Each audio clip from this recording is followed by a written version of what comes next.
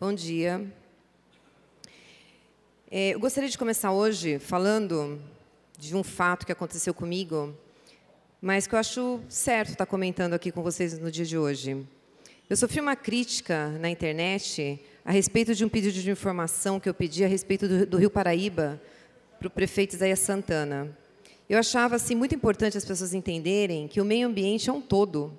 As pessoas estão muito focadas só na saúde, o que eu acho em primeiro lugar, realmente a saúde é muito importante. Mas nós, vereadores, nós temos que cuidar da cidade inteira. E o meio ambiente é muito importante. A nossa qualidade de vida depende do meio ambiente, principalmente da água, não é? Então, eu gostaria que as pessoas elas analisassem muito bem as situações antes de estar fazendo críticas aos vereadores, não é? é elas estão confundindo muito, que eu estou percebendo, é, a função do legislativo, eu volto a repetir, a função do executivo. Muitas coisas que competem é, ao executivo estão tá sendo atribuídas aos vereadores. Tem coisas que não dá para a gente fazer na Santa Casa. Depende do executivo, não do legislativo. Então, fica aí a minha observação, pessoas critiquem sim.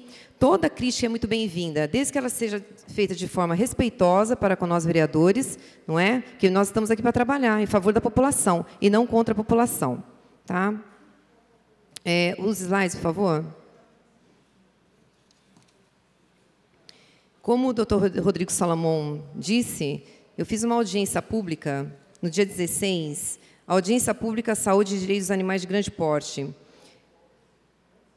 Essa audiência ela foi para tirar algumas dúvidas com relação aos cavalos aqui de Jacareí. Muitos animais soltos, nós recebemos denúncias desses animais, maus tratos de animais. O Gilson participou, né, Gilson? Você gostou, Gilson, da audiência? Foi bem explicativa, né? Deu para tirar algumas dúvidas. Você conhece algum carroceiro, Gilson? Conhece? Você levou o recado para eles? Levou, né? Então, esse é o primeiro contato, né, para estar tá explicando para as pessoas, para os carroceiros, que pode ser feito em nossa cidade. Vamos continuar aí com os projetos agora, da introdução aos projetos, ver o que a gente pode estar melhorando com relação às carroças. Literalmente, retirar as carroças, jamais. Por enquanto, não. Não dá para fazer isso agora. No futuro próximo, quem sabe. Mas prioridade primeiro é cuidar... Prioridade primeiro foi ótimo, né?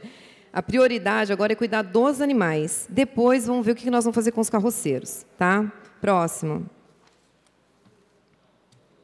Fiz algumas é, visitas na região central com relação a animais abandonados também.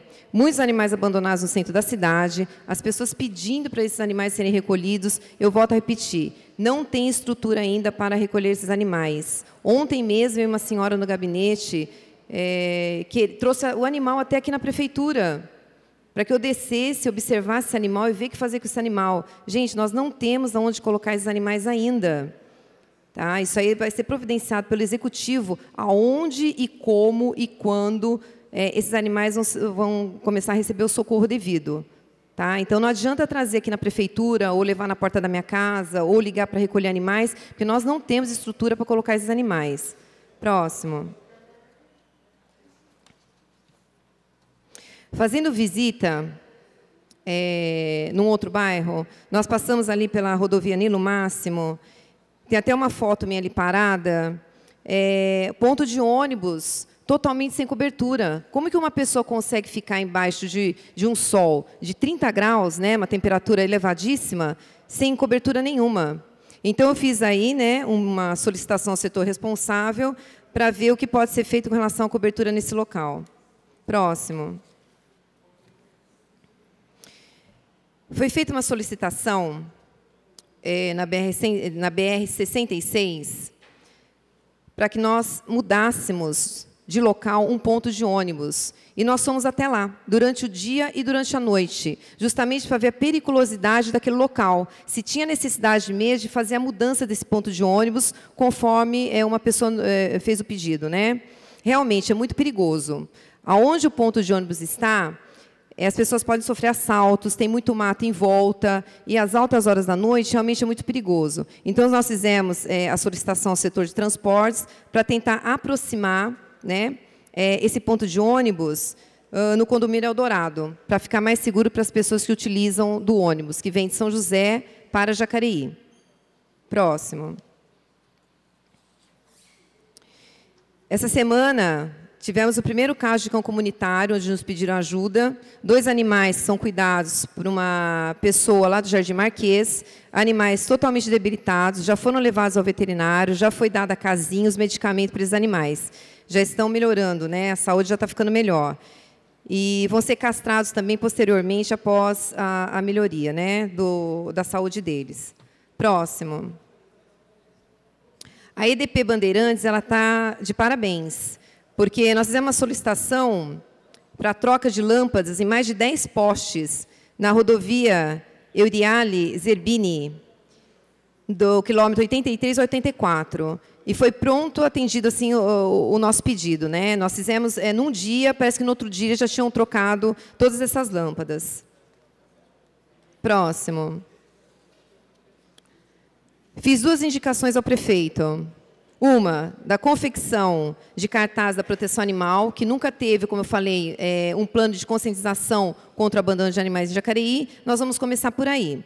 Gostaria de pedir novamente paciência para os protetores, para as pessoas das ONGs de proteção de animais aqui em Jacareí. Tudo tem seu tempo para acontecer. Nunca teve uma política para animais aqui, agora nós estamos começando a ter. Nós vamos começar por baixo para chegar até onde todos nós queremos, né? com relação aos maus tratos, abandono e etc. Vamos ter paciência que tudo vai se resolver. São só três meses aqui. Vamos ter paciência que, que tudo dá certo. Próximo. Tivemos um problema essa semana. Eu tive que, que me dirigir até a, a Secretaria de Mobilidade Urbana e estar tá falando com o secretário Edinho a respeito de uns cães é o que eu falo, esse tema, para algumas pessoas, parece que não tem muita importância. Mas, assim, mobilizou vários protetores, tive que marcar uma reunião é, com o Edinho para estar tá resolvendo o problema desses animais lá. São alguns animais que moram lá uh, aproximadamente uns dois, três anos, são castrados, vacinados, e surgiu um boato que o Edinho iria retirar esses animais de lá. Houve uma mobilização dos protetores com relação a isso, lógico, eu também fiquei mobilizada. Conversei com o Edinho, esses animais não serão retirados. É, nós já arrumamos uma solução para eles, mas eles vão permanecer no mesmo local. Então, algumas pessoas não compareceram, não ficaram sabendo, mas também esse assunto foi muito comentado no, na internet, pessoas revoltadas com a situação. Então, pode ficar tranquilo que está tudo resolvido. Os animais vão permanecer no local, não serão retirados.